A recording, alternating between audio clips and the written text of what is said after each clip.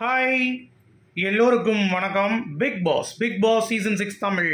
So அந்த வீடியோவில் voting analysis பற்றி தான் வந்து நம்ம டிஸ்கஸ் பண்ண போகிறோம் ஸோ ஓட்டிங்கில் வந்து பார்த்தீங்கன்னா யாரெல்லாம் வந்து முன்னிலையில் இருக்காங்க? ஸோ யாரெல்லாம் வந்து பின்னாடி போயிருக்காங்க அப்படிங்கிறதை பார்க்கறதுக்கு முன்னாடி அசீம் அப்படின்ற ஒருத்தர் ஓட்டிங்கில் இல்லை அப்படின்னோடனே அந்த ஓட்டிங்கோட சுவாரஸ்யமே வந்து பார்த்தீங்கன்னா குறைஞ்சிருக்கு அப்படிங்கிறது தான். ஏன்னா எப்பயும் பார்க்கும்பொழுது செம்ம ஓட்ஸ் இருக்கும். அசீம் வந்து கிளியர் கட் வின்னர் அப்படின்ற மாதிரி வந்து பார்த்தீங்கன்னா ஒரு ஒரு பிம்பம் வந்து அது கிரியேட் ஆகிடுச்சு ஸோ அவர் வந்து இல்லாததுனால இந்த ஓட்டிங் வந்து பார்த்தீங்கன்னா ரொம்ப அப்படியே வந்து வலு இழந்து காணப்படுது. ஏன்னா கதிரவனுக்குலாம் செம்மையாக இருந்தது. போன வட்டம்லாம் ஒரு லட்சத்தி எண்பதாயிரம் அப்படி கிட்ட தொட்டுச்சு. ஸோ இந்த வட்டம் ரெண்டு லட்சம் தொடுவார்னு நினச்சேன். ஆனால் ஒரு லட்சத்தி எண்பதாயிரம் கூட தொட மாட்டார் போல. அந்த மாதிரி ஆயிடுச்சு. ஏன்னா கதிரவனுடைய ப்ளே கொஞ்சம் வெளியே வந்திருக்கு. ஆனால் அசீமை அவர் நினச்சிருந்தா கண்ட்ரோல் பண்ணியிருக்கலாம் டேய் இறா மச்சான் நாங்கள் ரெண்டு பேர் பேசியிருக்கோம்டா நீ பேசாமல் விட்றா அப்படின்ற மாதிரி கண்ட்ரோல் பண்ணியிருக்கலாம் அசீம் கேட்ட ரெண்டு தடவை அடிச்சான் அடிச்சான்னு சொன்னதுக்கு ஆமாண்டா அப்படின்ற மாதிரி சொல்லி அதை எவ்வளோ பெரிய பிரச்சனை ஆக்குனாங்க அப்படிங்கிறது உங்கள் எல்லாத்துக்குமே தெரியும். ஸோ அந்தளவுக்கு வந்ததுனால கதிரவன் மேலே ஒரு இம்பேக்ட் வந்து கிரியேட் ஆகலை. ஸோ அதனால் ஒரு லட்சத்தி ஐம்பத்தஞ்சாயிரம் ஓட்டு தான் அவங்க வாங்கியிருக்காங்க. ஸோ ரொம்ப கம்மி. அதே மாதிரி ஜெனனி அசீம் கூட ஒரு ஃபைட் நடந்தது. ஸோ எல்லாமே அசீமத்து தான் போகுது பாருங்களேன். அசீம் கூட ஒரு ஃபைட் நடந்தது. ஸோ அது வரைக்கும் ஜெனனிக்கும் நல்ல ஓட்டு இருந்துச்சு. ரெண்டு லட்சம் ஓட்டு கிட்ட இருந்துச்சு. இப்போ அவங்களுக்கு அவங்களுடைய ஃபேன்ஸே வந்து இவங்களுடைய பிளே இல்லை அப்படின்ற மாதிரி கொஞ்சம் டவுன் ஆச்சு. ஆனால் நேற்று ஜெனனியுடைய பிளே கொஞ்சம் இம்ப்ரூவைஸ் ஆயிருந்துச்சு. அதனால தான் நேற்றோட இன்றைக்கி வந்து ஓட்டிங் பர்சன்டேஜ் கொஞ்சம் ஜாஸ்தியாக இருக்குது ஜெனனிக்கு. ஆனாலும் எண்பத்தி நாலாயிரம் ஓட்டு. ஸோ இதே கேம் ப்ளே வந்து ஜெனனி வந்து கன்டினியூ பண்ணாங்க அப்படின்னா கண்டிப்பாக ஜெனனிக்கு ஒரு நல்ல ஒரு இது கிடைக்கும். நேற்று விளையாண்ட மாதிரியே அமுதவாணனை பற்றி எதுவுமே பேசினா அவர் இன்ஃப்ளூயன்ஸ் பண்ணாலும் வந்து எதையும் வாங்கிக்காம காதில் ஏய் நான் என் கேம் ஆடுறேன்டா. நான் எனக்காக ஆடுறேன். அப்படின்ற மாதிரி எல்லாம் நல்லா பண்ணாங்க நேற்று நீங்கள் பார்த்துருப்பீங்க. அவங்க டான்ஸாக இருக்கட்டும் அப்புறம் வந்து டாஸ்காக இருக்கட்டும் அப்புறம் வந்து ரன்னிங் லாக் அண்ட் கீயாக இருக்கட்டும் எல்லாமே பர்ஃபெக்டாக ஜனனிக்கு கூடிய நாளாக தான் நேற்று வந்து இருந்துச்சு அப்படிங்கிறது நம்ம ம மறுக்கவே முடியாது. ஸோ எண்பத்தி நாலாயிரம் வாக்குகள் கம்மி தான் பட் போக போக அவங்க வந்து இம்ப்ரூவைஸ் ஆவாங்க அப்படின்ற ஒரு நம்பிக்கை எனக்கு இருக்குது Janani will become a strong understand அப்படின்ற மாதிரி ஒரு ஃபீல் வருது இப்போ தான் லைட்டாக பட் ஒரு சில விஷயங்கள் அவங்களுக்கு மெச்சூரிட்டி இல்லாமல் பண்ணுறாங்க அதை மட்டும் கொஞ்சம் ஹேண்டில் பண்ணணும். அதை எப்படி பண்ணுறாங்கங்கிறத பார்ப்போம். நம்ம பொறுத்திருந்து பார்ப்போம். ஓகேங்களா ஸோ கதிரவன் ஜனனி. மூன்றாயிரம் ரக்ஷிதா. எண்பத்தி நாலாயிரம் இருக்காங்க ஜனனி. பின்னாடியே வந்துட்டாங்க ரக்ஷிதா. எண்பதாயிரம் வாக்குகள்.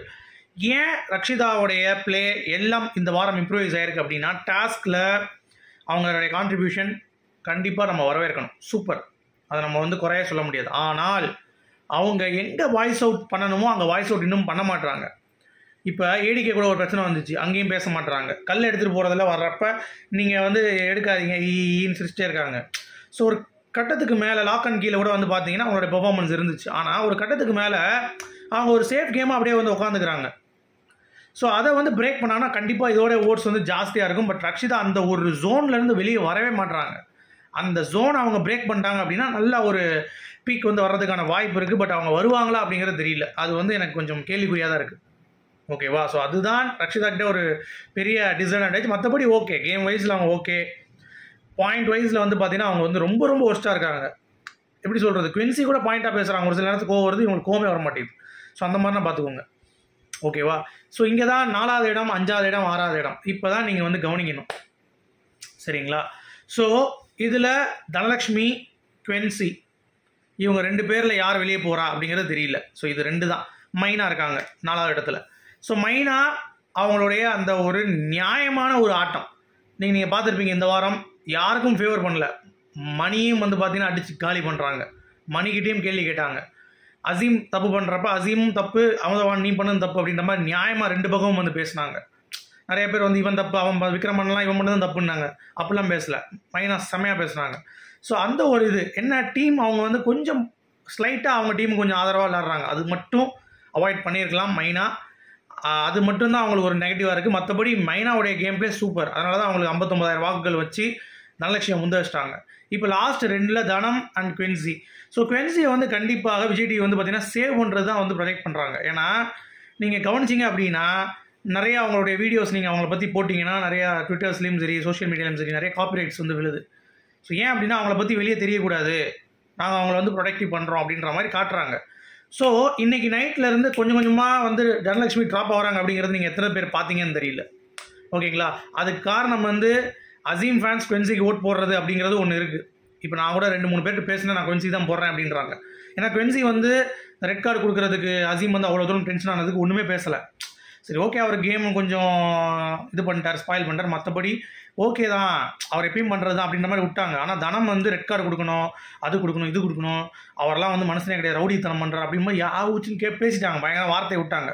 ஸோ அதனால் குவென்சிக்கு ஓட் போட ஆரம்பிச்சிட்டாங்க அப்படிங்கிறப்ப ஓட்டிங்கில் வந்து பார்த்தீங்கன்னா குவென்சிக்கு ஜாஸ்தியாக கொஞ்சம் வருது. ஸோ அந்த வகையில் பார்க்கும்போது குவின்சியை வந்து காப்பாற்றிடுவாங்களோ அப்படின்ற மாதிரி இருக்குது இன்னும் ஒரு நாள் இருக்குது கம்ப்ளீட்டாக நாளைக்கு வரைக்கும் நம்ம பார்க்கலாம். கம்ப்ளீட்டாக இருக்குது ஸோ வாய்ப்பு இருக்குது ஆனால் உண்மையிலே சொல்லணும்னா இந்த வீட்டில் பங்களிப்பு கம்மியாக இருக்கிறதுக்கு யார் வெளியே போகணும்னா அது குவென்சி மட்டும்தான். வேறு யாரும் கிடையாது. கரெக்டாக குவென்சி தான் வெளியே போகணும். பட் அசீம் உடைய ஃபேன்ஸோடைய அந்த கோபத்தினால குவென்சியை காப்பாற்றிடுவாங்களோ தனத்தை எலிமினேட் பண்ணிடுவாங்களோ? உங்களுடைய கருத்தில் சொல்லுங்கள்